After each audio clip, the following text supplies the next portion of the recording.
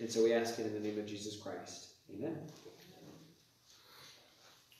Jeremiah chapter 14 starts with these words The word of the Lord that came to Jeremiah concerning the dearth. The dearth. It's a, a dryness, it was a drought. Now, this was a literal dearth, I believe that, but it was also a spiritual dearth.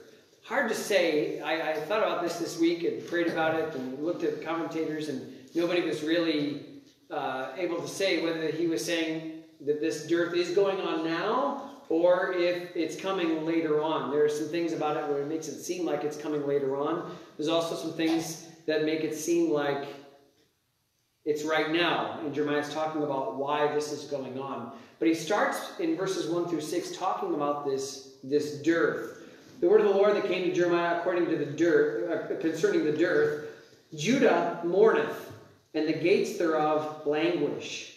They are black under the ground, and the cry of Jerusalem has gone up. And their nobles have sent their little ones to the waters. They came to the pits and found no water. They returned with their vessels empty. They were ashamed and confounded and covered their heads, because the ground is chapped. For there was no rain in the earth the plowmen were ashamed, they covered their heads. Yea, the hind or the deer also calved in the field and forsook it because there was no grass. And the wild asses did stand in the high places. They snuffed up the wind like dragons. Their eyes did fail because there was no grass. All, the all the, the mountain goats, the donkeys, the wild donkeys would go and they'd sniff and they'd smell for any kind of grass, any kind of water. Just it's all they could do is smell to try to find something. And things were so bad in this drought that, uh, I mean, he's talking about how devastating this is. Physical dearth, though, in the Bible is a result of spiritual dearth, a dryness toward God. And the idea in the Old Testament was God had promised that if you obey the law, I'll send rain, and if you're disobedient, I'll withhold rain. And so there's always this connection between physical and spiritual. Now, again, we can't extrapolate that to us because God hasn't made the same promises to America. When there's a, a drought in Texas, uh, it's very obviously, you know, climate change. No, I don't know, but um, just weather patterns. You know, sometimes there's a drought. There's a drought for a long time, and all of a sudden they get blasted with flooding. And uh, but in Israel, there was very much a connection between the spiritual condition of the people and the physical condition, the rain that came down and uh, would bless them. And the spiritual always precedes the physical. This is a warning to them then. In Amos chapter 8, verse 11, Amos says these words Behold, the days come, saith the Lord, that I will send a famine in the land. Not a famine of bread, nor a thirst for water, but of hearing the words of the Lord. And as we look at the end of the chapter, he says, Are there any, are there any among the vanities of the Gentiles that can cause rain? Or can the heavens give showers? Art not thou he, O Lord our God? Therefore will we wait upon thee, for thou hast made all these things. He said, yes, true that we look for the clouds. We look toward the heavens for rain, but isn't it also true, Lord, that we look beyond those clouds to you? And if you want to send clouds with no rain, then clouds won't do us any good. And if you want to send rain without clouds, Lord, but above all this, Lord, we need you. We need you. And he feels this dryness the U.S. finds itself in a similar drought and famine. Not a lack of access to the Word of God. You know, there are countries in the world that don't have any access. They don't have any Bible in their own language. There are hundreds of people groups who, have, who don't have one scrap of Scripture in their own language. Aren't you glad that we have, a, we have an abundance of the Bible? Yeah. The famine in the U.S. is not due to a lack of access, but uh, a lack of exposure. Gallup poll recently, and this was kind of it was a it was a shocking thing for the first time ever in all of their polling, found that less than 50% of people of Americans belong to a church. That's the first time it's ever ever happened. It was at 70% in 1970. It was at 60% in 2013. Now it's at 47%. 47% say they belong to a church. Now, mind you, that's only people that say they belong to a church. Of course, in America, there was, there was the stigma that if someone asked you, Do you belong to a church? you would say yes, even if you never go. Now, 47% of people say they don't belong to a church. They're even they're either getting more honest, or even the people that say they belong to a church and still don't go. That's only 47%. 61% of people polled said that religion was important to them in 2003. Now that number is at 48%. 48% of people say that religion is important. And again, that's religion Jewish, Muslim, otherwise. 48% of Americans say that. When they asked, How often do you go to church, synagogue, or mosque? Uh, 24% of Americans said every week. 9% said almost every week. 11% said once a month, 25% said seldom, and the most, with never, 29% said they never go to church. 29% say they never go to church, 24% said they go every week. Now, that's kind of the way it goes. And again, that's just assuming people are honest. I'm assuming people are honest when they say they never go. And I always kind of, you know, uh, when they say they go every week. So you know the devastating results that what these polls are finding out uh, are showing us. The results are that there's increased crime, uh, increased drug use, uh, depression, suicide is on the rise. And I, are you going to correlate all of that with the, the, lack of obedience to the Word of God and church attendance and good Bible preaching churches? Absolutely, I am. Amen. Yeah, absolutely, I am. Right. Uh, righteousness exalteth any nation, the Bible says. And uh, when we're looking for righteousness in areas other than Scripture, of course, we're going to have the dearth and the famine that we're experiencing. Now, beyond that, in America and in Israel, we can also get there personally. Uh, how many of you, uh, you raise your hand or don't raise your hand, but just ask yourself the question how many of you have ever had a period of spiritual dryness before? How many of you, that's been within the last year? I won't ask how many of you are in one right now. You don't have to answer that. You know, though, there's this dryness that you come across in the Christian life, and it shouldn't be that way, but there's just this apathy toward God, a coldness toward the things of God. There's a famine, a drought in your own life. In the Christian life is theological. It's thoroughly spiritual and theological. And so I'm not going to say what I'm going to say in terms of what you should do, but the spiritual life, what we believe on the inside, the theological, will be expressed in certain Christian disciplines. Now, again, uh, we can argue about what those are, but let me give you a small, short list of things that traditionally Christians have believed. And in the book of Acts, you see in a healthy, Christian, vibrant, well watered church, you'd find things like prayer, right? Prayer that is uh, vibrant and fervent. And when you're in a bit of a famine, when you're in a bit of a drought, your prayer is very distracted. It's, it's hard for you to stay focused in the things that you're praying about. It's hard to want to go to prayer. Um, you, you make requests, but they're generally pretty selfish and not very heartfelt. You're not really burdened about it. You just feel like maybe you're kind of going through the motions. Another is worship. Worship is considering God and considering Him worthy. Now, that can be expressed in singing, like this morning. It can be expressed in giving. Like this morning, it can be expressed in gratitude and, uh, and surrender and submission, all those things. But often when you're in a drought, your worship is half hearted.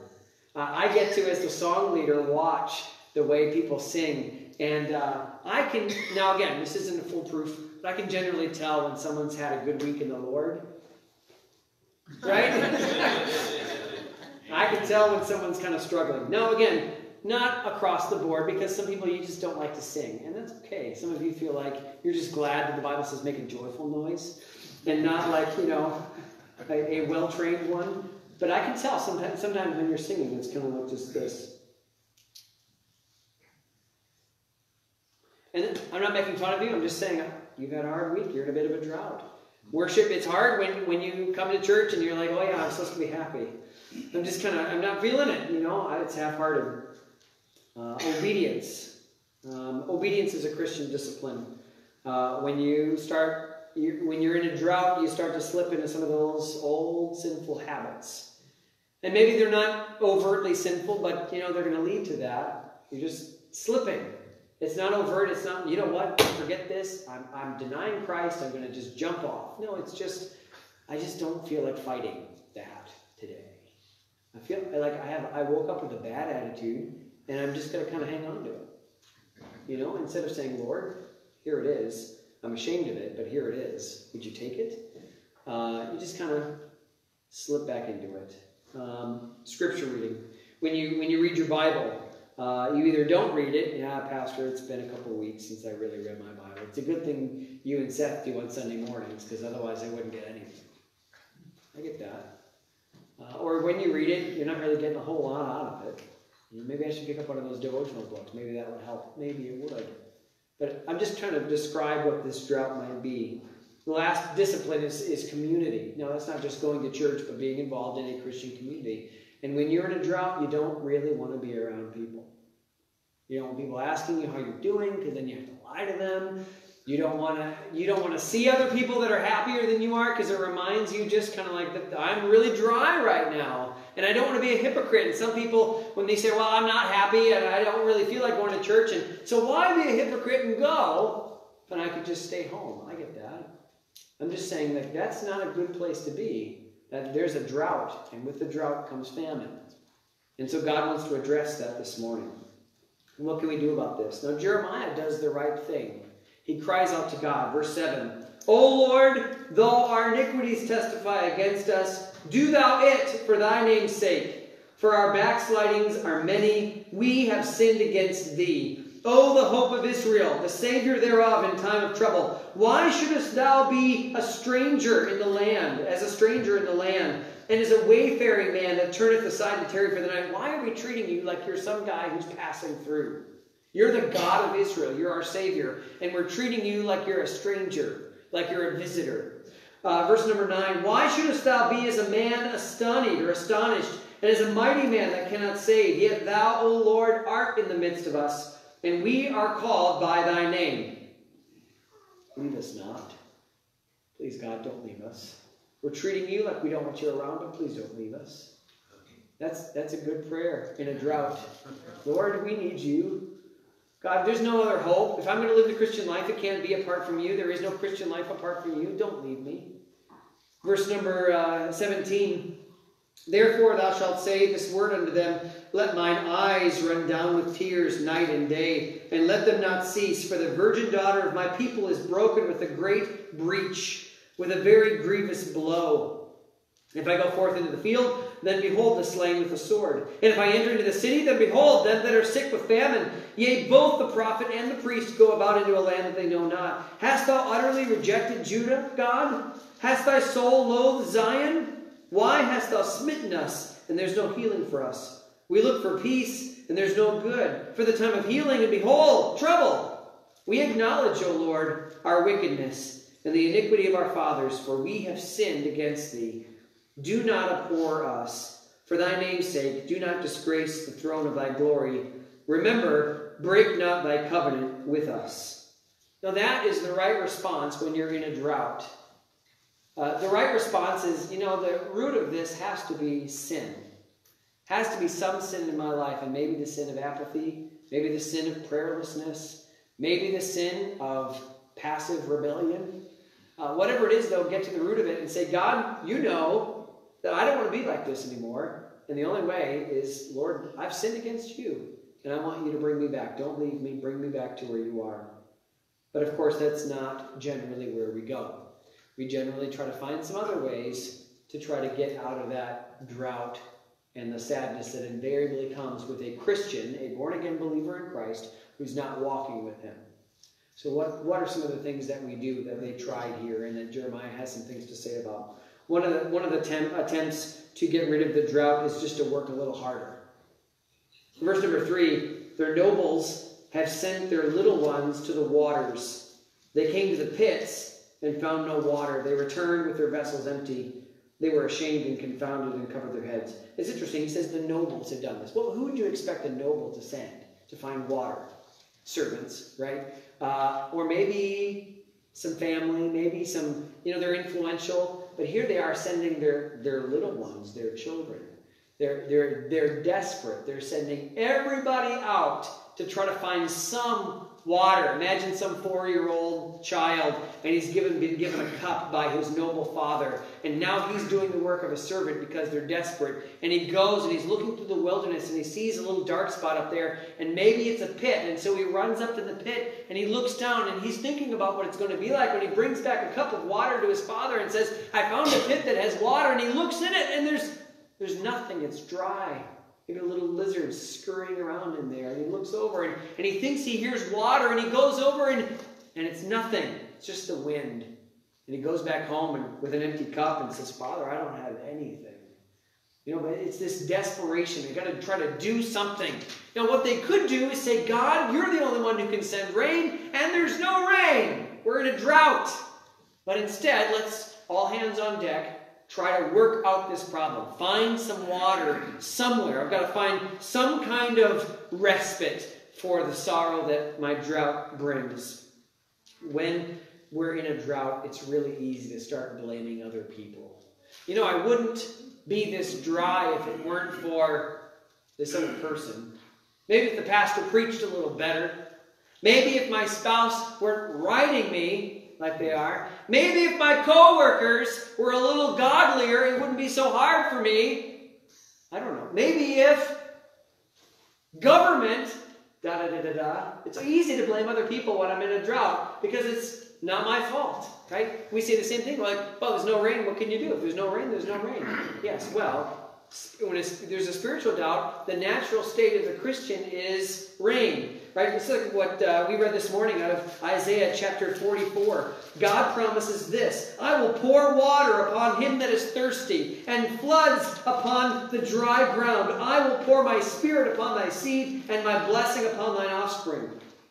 That's the natural state of the Christian. And if you find yourself there, it's not somebody else's fault, it's yours.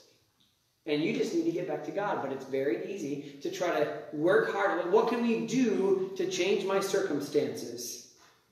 We, we vow to try to work harder. Got, there's got to be fulfillment somewhere. You know, if not in church, I tried church, doesn't work. I tried my, reading my Bible. I tried all the Christian stuff. I'm going to find fulfillment somewhere else. And you know, the Bible talks about this the pleasures of sin for a season. You can probably go find happiness in the world. You can pull up a, some comedy on YouTube and placate yourself for a while and, and dismiss the, the dryness in your soul, but it's not real water. It's not, for the Christian, real growth. It's just a way to kind of kick it down the road. But we try harder. We try to do something. You know, why is this the wrong way? Ultimately, because it doesn't help. Because you can't get yourself out of drought. If water comes from the heavens, then you look to the heavens. And if, if I'm dry spiritually, there's nothing I can do to change that except cry out to God, who's the giver of life. Disciplines that I talked about earlier, they are actions, true. But a drought will not end if you just try harder. You know, I'm going to church harder, I'm going to pray harder, I'm going to uh, read my Bible harder, I'm going to do all those things. We'll talk about this in a moment, but uh, all those things are not the point. The Christian disciplines are not the point. You don't start with that. It comes from a heart that expresses itself in love. The, the first step really is repentance. Lord, I have been, I've wandered too far away from you. And the prodigal son was not waiting for the father to come to him. He went back to the father. It was repentance. It was turning around and saying, I'm not worthy. I'm, I'm just going to see if I can get a little bit of something from my father. Well, the, the great news is that when you go back to your Father for a little bit of something, He has oceans for you. And I just love that about God. Only God can end the drought. The wrong intent number two is they try religion. Verse 10. Thus saith the Lord unto this people, they thus have they loved to wander. They have not restrained their feet, therefore the Lord doth not accept them. He will now remember their iniquities and visit their sins. Then said the Lord unto me, Pray not for the people, for their good. They love to wonder, and God won't hear them anymore. Still, they try to make amends with God. Verse 12 When they fast, I will not hear their cry. And when they offer burnt offerings and an oblation, I will not accept them. But I will consume them by the sword, and by the famine, and by the pestilence. Right? So they know that there's something wrong. They've wandered too far. And instead of coming back and saying, God, this was wrong, we're coming back to you, they try to offer sacrifices. Well, that's God wants sacrifices. He wants us to do the thing where we whatever, whatever God wants, let's get him off our back. You know who used to do that? The pagans. Oh, Zeus is unhappy. Let's sacrifice a bull on, on and see if he'll send us rain. And God's like, it's not like that. Know me. And whether you offer an offering or not, know me, know my character, know my heart. And if that's not enough, an offering isn't going to do anything for you. Now, isn't it great that Christ himself made the sacrifice for us? There's no more sacrifice. But you know what that means? That means that the way is still back to God. The way is still know who God is. If the sacrifice has been taken away, He's taken away all of your religious acts. And yet, that doesn't stop us from trying. Right? Doesn't stop us from trying just a little more religion. Now, again, it's the, it's the right orientation. It's better than doing nothing or blaming everybody else. It's better than working harder. But it's not enough to overcome sin. Sacrifices will not buy off God. Amos chapter 5, verse 21. I hate, I despise your feast days. In Isaiah 1, verse 11, To what purpose is the multitude of your sacrifices unto me, saith the Lord? I am full of the burnt offerings of rams and the fat of fed beasts. I delight not in the blood of bullocks or of lambs or of he goats. You think I, I, I, like the smell of burning animals? No, I do, especially when it's on a grill. Uh, you know. But is that supposed to please God? Is that supposed to make Him happy because you're offering all these things? You think you're buying off God with your actions, with your religious actions? Absolutely not. What does God want? He wants your heart. It's always been about your heart. God, in full surrender, God, you know, I don't. You are, I'm not. And so you're everything and I'm nothing. That's all that's what the Christian life is. And when you empty yourself, that's when God fills you up. It's interesting, and this isn't in my notes, but it's interesting on that note, if you think about what when when Elijah went to the widow in uh, in Zarephath, in uh, right outside of Sidon, right? Um, when he went to her and he said, "What are you What are you doing?" She said, "I'm just getting a couple sticks so I can build a fire. I've got a little bit of flour. I've got a little bit of oil. I'm going to make a cake. My son and I are going to eat it, and then we're going to die. That's our plan. And Elijah says, very boldly, Make me one first. Sorry, what? There's no first. Like, if I make you one, there's nothing left. She had to totally be emptied before she could be filled up. And remember the story. She makes him a cake first in faith, and the oil never stopped, and the flour never stopped either. And as a Christian, you've got to come to the point where you are completely empty and you're completely surrendered. If you think, well, yeah, you know what, I've been a little dry, but I'm just gonna, I'm gonna commit to five, uh, yeah, I'm gonna commit, I'm gonna commit to a half an hour of prayer every day this week. Uh, it's been like zero, it's been five minutes, but now I'm gonna go. Okay, fine. That could be a great thing. But if you think, well, doing this is going to get me favor with God at the end of the week, I'm sorry, you're sadly mistaken. A half an hour of garbage prayer with uh, no repentance isn't going to do anything. You're, you're chucking animals on the altar to no avail. And, and God is, is sick of it. Their attempts will not end the drought, the famine. Delving into religion helps us feel better about ourselves, though. Because here's what happens when I pray I think, ah, aren't I a good person? I just spent this time in prayer. Ooh, look at me. I'm at church. I must be a good person. All these feelings of dryness and drought, it must just be in my head because here I am in church. Right? I'm going to sing these hymns. Now, please, sing the hymns. Please come to church. Please pray. Please read the Bible. All those Christian disciplines. Please witness to the lost. All I'm saying is you don't start there. That's fruit. That's not root, that's fruit. Root is your relationship with God, and it starts with repentance. It starts with God, I've been dry because of my sins. I've been too far out, and I need you.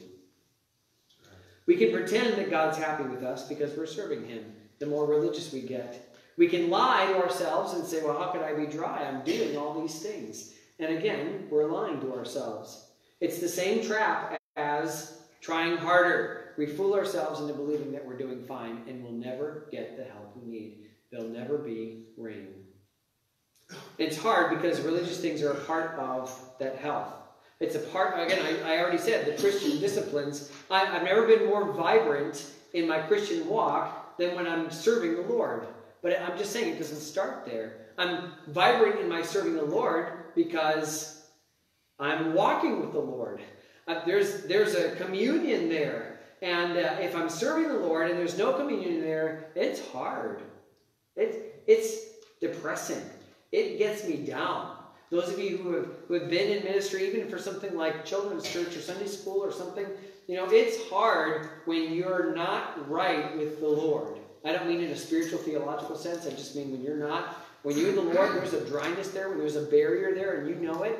That's a hard place to minister from. I've been there. I feel like I'm there too much. Just to be honest with you, I feel like I'm there too much. And uh, God has to bring me back. But that dryness, like I'm not going to be a better Christian by preaching harder, by preaching better. I'm not going to. You're not going to be a better Christian by becoming a pastor, by becoming a Sunday school teacher. Now, again, I think that every Christian ought to serve in some way. I just think if you're counting on that, it's not going to ultimately do anything for you. Actions that are God oriented and not us oriented will get you through that. So, what's the difference between serving the Lord in dryness and serving the Lord in flourishing? In lusciousness, I guess is, I don't know what the word is, but uh, in, in there's a yeah, I, lush. I don't know. Anyway, what's what's the word I'm looking for? I, it doesn't matter. You understand what, what's the difference? Well, the difference is when I'm serving God in my dryness, it's about me. It's about how this reflects back on me. I'm a good person because I'm doing this. I feel better about myself because I'm serving. When I'm praying, it has my prayer has to be a reflection of His worth, not mine. When I'm worshiping, it has to be a reflection not of my emotions about God, but about God Himself. And I feel like, again, we, we fool ourselves when we get an emotional response in worship into thinking that we're doing fine. It's, it's like we get a little bit of the, um, we get a little bit of that, that uh, what, what's the, why can I not think of anything? Adrenaline. No, dopamine. You know, you get that little adrenaline shot. Oh, I must be worshiping because I feel like I'm worshiping. Uh, and, and, we lie to ourselves. Uh, when what God wants is that heart first, and that would overflow into worship. When we obey, it again has to be not in our power, but on His. The, the Christian life is one of obedience, independence, trust, and obey. That's the right way that it should be oriented. Uh, what's the difference? It's actions accompanied by right attitudes. Anybody can read the Bible. You know, atheists read the Bible so they can find out ways to make fun of it. You know, they, they can do it's there's no magic in reading the Bible.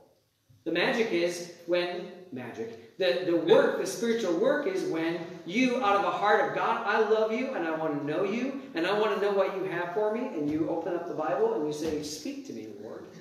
That's when change happens, but it starts with the right attitude about the Word of God. Again, go to church. I think that's a great thing. But when you come, why are you here? Are you here to check a box? Are you here to look good? Are you here because you feel guilty otherwise? Are you here to be a blessing to other people? I want to be used by God to serve and minister in my local church. I want to give a tract because I have a heart for that person to know the Lord. Not so that if someone asks me if I'm evangelistic, I can point to that. And again, it's so easy to slip into that, checking the box. I'm, I'm a good person because I've done all these things. Rather than, God, you are worthy of my time, resources, and attention. Lord, you're worthy of all of this. And I just, Lord, I love you. That's, that's the heart. That's, that's where we all want to be. That's where we all need to be instead of exercising out of drought. The wrong attempt, number three, and this is all, is they just try to ignore it. Nothing's wrong. It's fine. It's a slump. It's, it, it, it, it, it's nothing. Jeremiah pleads with God. See, so God says in verse number 12, he's going to consume them by the sword, the famine, and the pestilence, the disease. And so Jeremiah just points a few things out as if the Lord didn't know. Verse 13 Then said I, Ah, Lord God, behold, the prophets say unto them, Ye shall not see the sword, neither shall ye have famine, but I will give you assured peace in this place. So what's he saying? Well, the reason that the people aren't repenting is the prophets are saying everything's fine. You don't need to worry about it. There's not going to be any sword or drought or pestilence.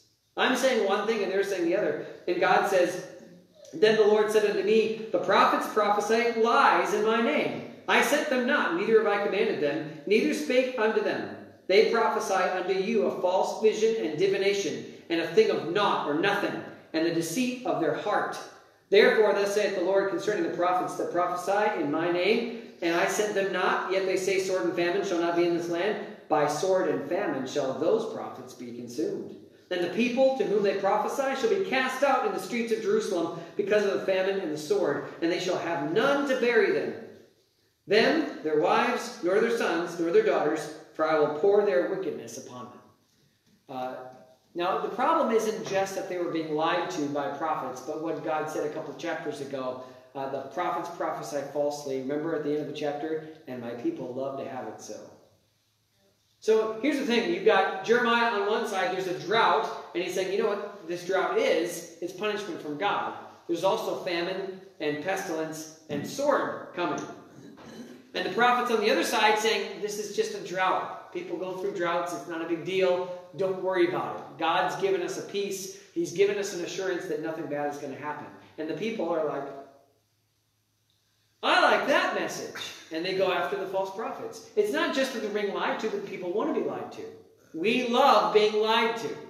We love it.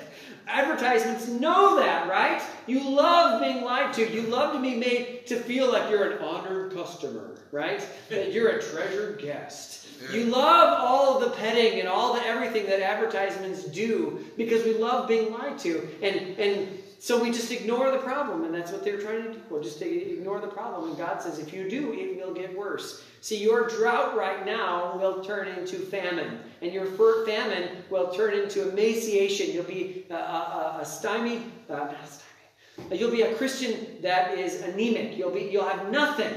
And, and years from now, you'll think about the way you are now and say, I used to be a vibrant Christian. I used to be somebody who walked with the Lord. I found prayer very easy. I found just the, the community and fellowship. Where did I go wrong? You went wrong because you didn't address the root of the problem, which is your heart, which is your sin. And, and maybe instead, well, I tried this and I tried that. And again, I know how this goes. I've seen it. I've had it. I see this spiral that when you just say it's not a big deal, it's just a little bump. Now again, we as Christians, all we go through these ups and downs in the Christian life. Problem is, that's not where we should stay. And if you don't do anything about it, that's where you'll stay. And and it's amazing the people again that were a part of this church, were part of you know they didn't leave this church to go to another church. They left this church and haven't been anywhere and have. I mean, you just watch the degeneration of their lives. And I'm not, I'm not even trying to do scare tactics. I'm just saying, like, when you embrace the drought, the drought is what you have. When you say, when you ignore the drought, the drought is what you have. If there's going to be any change, if God's going to pour out water on you so that you can start growing in the Lord, there has to be rain from God. And that comes through repentance. You can't ignore it. It's easy to ex- ignore spiritual dearth. Spirit, physical dearth, if there's a physical dearth, we can't ignore it because we have to eat, otherwise we'll die. Spiritually, though, Satan just is there a whole list of excuses of why things aren't really as bad as you think they are. Things, I mean, it's just, eh, don't worry about this. Why are you always thinking about this? You're not like somebody else. You know, look at all the other people that are around you. You're, you're way more spiritual than they are. You're fine. Why are you worried about this? Um, you're trying the best you can, Satan says. You just, you're just in a little bit of a dry spell. But as long as you think that's all it is, you'll never get the help that you need, and you need help. When you're in a drought, you need that. You need to go back and say, God, you know what I am and what I've done. And God, I have wandered too far from you. I'm a, I'm a sheep out in the wilderness. And I'm not, going to, I'm not going to find any rivers or ponds or anything worth drinking. God, I need you to come back and get me. And praise God, every time He will. And He does. You just have to acknowledge what's going on in, in your drought. When we are hungry, God, those hunger pains that we have are a gift from God to tell us what we need. And if you this morning are feeling those pangs, I'm in a dry spell. This hurts. This is hard. The ground is chapped. That's God as a blessing telling you that things cannot stay the same. they have to change. They, that, that if you continue this, it only gets drier. It doesn't ever get better. Now, I don't know if you've ever seen really dry ground that all of a sudden gets rain. It doesn't take very long for those plants to come right up. I mean, one rain and God can change everything. It can be that today, this afternoon, you go home, you get on your face, you say, God, you know what's going on. I know what's going on. I'm sick of this drought. Lord, would you send rain? And He will flood your soul with joy and peace and love, and God will meet you. And you can be just as lush as you've ever been in a matter of no time at all. But it has to be that point of recognition where you say, God, I'm in a drought and I can't ignore it any longer, and I can't work any harder, and I can't be more religious. God, it just has to be that you come back and get me. That's all it is. It reminds us that we need to get back to Him, and God is waiting for you. He has rain for you. He wants to get you out of this drought, and He will if you'll just ask. If you'll just say, God, I'm sorry, I need you. So let's pray through this drought. God, you know Lord